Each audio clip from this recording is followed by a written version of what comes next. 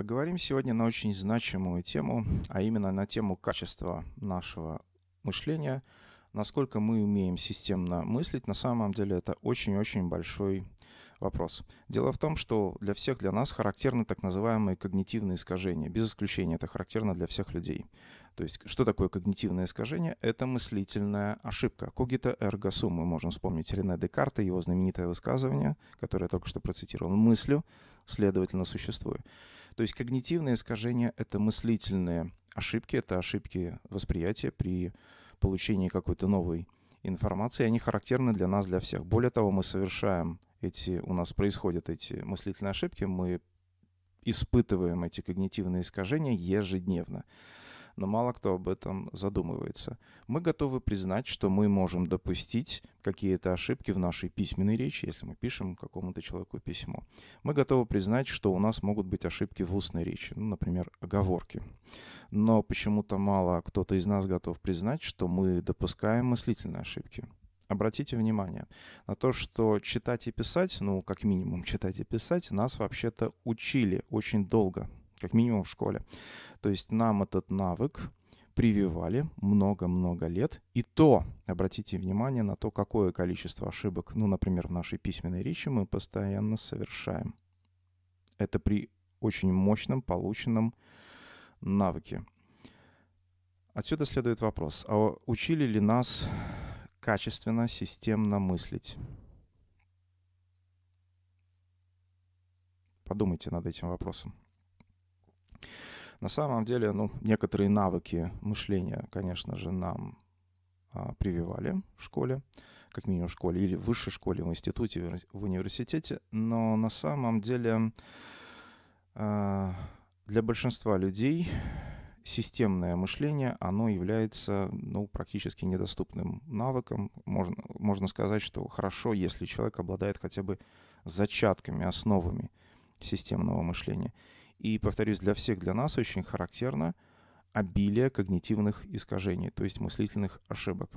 И для того, чтобы учиться мыслить, учиться мыслить системно, мы должны понять, что при каждом нашем рассуждении, каком-то умозаключении, в каждом процессе мышления, мы должны обязательно на что-то опираться. То есть у нашего умозаключения – должна быть некоторая, как в юриспруденции или как в доказательной медицине, у нас должна быть доказательная база, собранная доказательная база.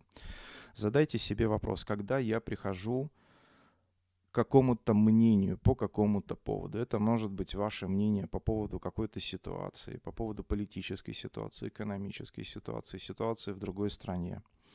Э, это может быть ваше мнение, суждение по поводу какого-то человека, какой-то личности, на что в этих суждениях вы опираетесь, что является базой и фундаментом. Если мы будем правильно понимать, на что мы можем действительно опереться, что может выступать основанием, достаточным основанием для наших суждений, то количество наших когнитивных искажений, оно резко пойдет на убыль. Итак, кратко перечислим, какие у нас могут быть опоры в наших умозаключениях по поводу какой-то ситуации или по поводу какого-то человека. Мы можем опираться на эмоции. Очень часто люди опираются в своих суждениях, умозаключениях, что я могу сказать по поводу этого человека, что я могу сказать по поводу этой ситуации. Опираются на какие-то эмоции. И когда мы опираемся на эмоции, то это недостаточное основание. То есть опора на эмоции очень часто приводит, может приводить вас, не всегда, но очень часто может приводить вас к заблуждениям, каким-то ошибкам восприятия. Например, это может быть идеализация, а может быть, наоборот, демонизация. То есть мы идеализируем какого-то человека или, наоборот, демонизируем какого-то человека. Нам кто-то очень сильно не нравится, или, наоборот, кто-то очень сильно нравится. И, соответственно, мы приписываем все самые лучшие качества – и характеристика именно этой личности, ну или какой-то группе людей, может быть. А, допустим, ну в политике это очень, для политики это очень характерно.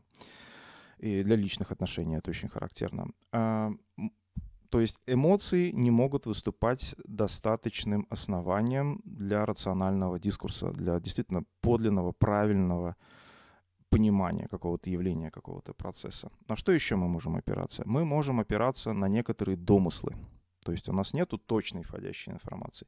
А, например, нам кто-то что-то про кого-то сказал. То есть это может быть заблуждение, это может быть ошибочное суждение, а мы его воспринимаем на веру. Это ошибка.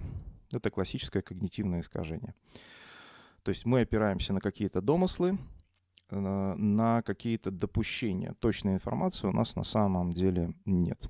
На что еще мы можем опираться? Мы можем опираться на какие-то психологические выгоды или материальные выгоды. То есть вам психологически выгодно думать о ком-то или о чем-то следующим образом. Но на самом деле это еще не признак истинности, разумеется. Здесь есть некоторые соображения или просто материальные выгоды, или нематериальные выгоды, психологические выгоды. Далее, вы можете опираться на какие-то мифы. То есть существуют какие-то устойчивые мифы, ну, например, по поводу какого-то этноса, по поводу какого-то народа у вас может быть некоторое мифологическое представление. Но на самом деле любая генерализация, любое обобщение — это уже когнитивное искажение, это уже ошибка. То есть мы с самой первой секунды в своих размышлениях мы уже можем очень сильно ошибаться. И, наконец, существует, существуют, разумеется, факты. То есть на самом деле, я их поставил в самый конец, хотя с них, конечно, нужно начинать. На самом деле в своих умозаключениях мы имеем право опираться только на факты.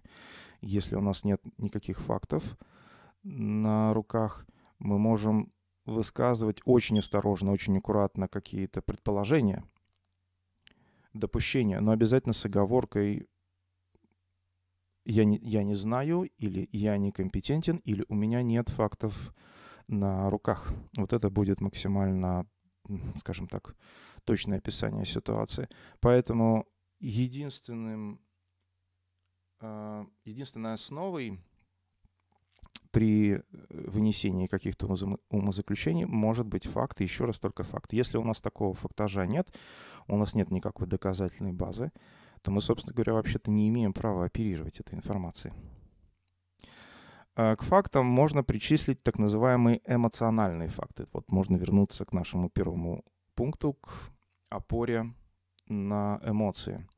Действительно, если вы объективно можете оценить некоторый эмоциональный факт. Например, признать, что, допустим, в ваших взаимоотношениях с каким-то человеком эмоциональная температура между вами есть такой, вот в психологии отношений есть такой более или менее измеримый параметр, как эмоциональная температура между людьми. И вы чувствуете, что в течение двух или трех месяцев эмоциональная температура между вами, она повышается, она растет. То есть между вами все больше и больше эмоционального тепла. И это совершенно очевидно. Это следует из просто из языка тела, из того, что вы чувствуете от другого человека, то есть эмоциональная температура растет, все хорошо, все прекрасно. Это эмоциональный факт. То есть, да, на это можно опереться. Или наоборот, эмоциональная температура в последнее время резко упала. Это тоже некоторый эмоциональный факт. Но мы можем приходить к каким-то умозаключениям, только если мы будем по возможности беспристрастно объективно оценивать именно факты, пусть даже и эмоциональные. Разумеется, когда мы говорим о фактаже, мы должны понимать, что существует огромное количество так называемых альтернативных фактов. Существуют различные конспирологические теории, там, теории заговора, которые предлагают совершенно непроверенные факты, э, какие-то подделки, какие-то ложные умозаключения, фальшивые системы знания. И, со- соответственно, мы не можем это воспринимать как факты. То есть эти факты, они не могут быть какими-то научными способами верифицированы. Первый признак научного знания — это верифицируемость, то есть подтверждаемость. Мы не можем их никак проверить, или источники, э, которые их озвучивают, они, они крайне сомнительны. Поэтому на самом деле, когда вы ссылаетесь на какой-то факт, вы, конечно, должны понимать, действительно ли это является фактом. Итак, повторюсь, темой нашей сегодняшней лекции, очень краткой, но невообразимо важной, является на что мы опираемся в наших мыслительных процессах. Когда мы приходим к каким-то умозаключениям по поводу какого-то явления, по поводу какого-то э, человека, то мы всегда должны опираться на факты, не на эмоции, потому что когда человек, особенно когда человек сверхэмоционален, происходит утрата самоконтроля очень часто. Мне очень часто, ну, скажем так, по роду своей деятельности просто приходится это наблюдать. Человек теряет самоконтроль и совершает огромное количество ошибок. Ошибки происходят, поведенческие ошибки, ошибки в отношениях. Эти ошибки происходят э, в экономике, в политике, в инвестировании, да, где угодно эти ошибки происходят. Почему? Потому что человеком овладели какие-то эмоции.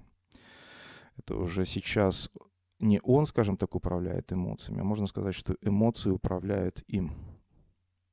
Точка контроля, она утрачена, она потеряна. И человека охватывают какие-то эмоции, сильный гнев или страх, или жадность, или еще какая-то эмоция.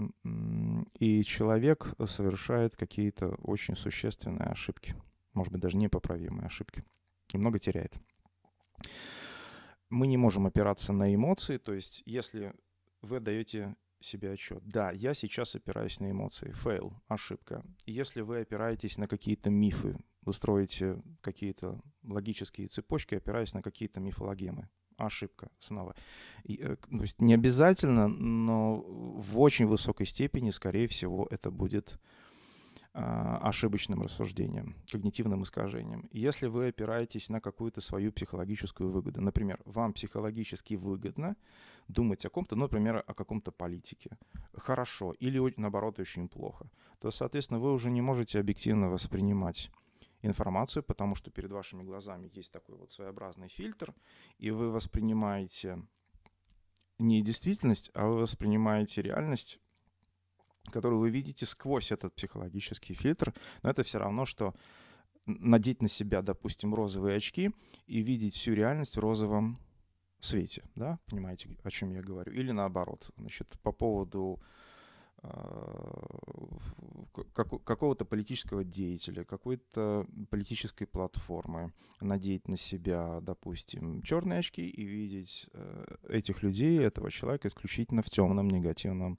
свете. То есть вы не будете воспринимать действительность адекватно, у вас будут мощнейшие когнитивные искажения, мощнейшие ошибки мышления и восприятия. При этом вы будете необъективны. Мы можем опираться на эмоции, и, скорее всего, это будет, это будет приводить нас к каким-то мыслительным ошибкам. Мы можем опираться на психологические выгоды, мы можем опираться на какие-то домыслы, на какие-то допущения, на какую-то чужую, абсолютно непроверенную информацию – на чужие когнитивные а, ошибки, не обязательно они будут э, порождением вашего ума. Вас ими могут просто-напросто накормить, скажем так, да, другие люди, или там средства массовой информации. Хочется добавить средства массовой дезинформации. А, вы, соответственно, можете опираться на, на какие-то, на чужие когнитивные искажения, на мифы, мифологемы, домыслы, и это может вас приводить ежедневно, может быть даже ежечасно, к очень большому количеству когнитивных искажений. Поэтому призываю вас, задавайте себе вот этот вот вопрос, на что я сейчас опираюсь. Моя опора в чем? Когда я думаю о чем-то, я опираюсь на что? Я опираюсь на факты. И еще проверьте, действительно ли это является фактом. Источник информации. Кто, что. Можем ли мы доверять этому источнику информации? А, или же вы опираетесь на эмоции, на мифы, на какие-то домыслы, на допуски. И, скорее всего, вы будете приходить к каким-то когнитивным искажениям, которые будет влиять на качество вашего мышления – Задавайте себе этот вопрос и работайте над улучшением качества вашего мышления. Будем учиться мыслить. Всем пока.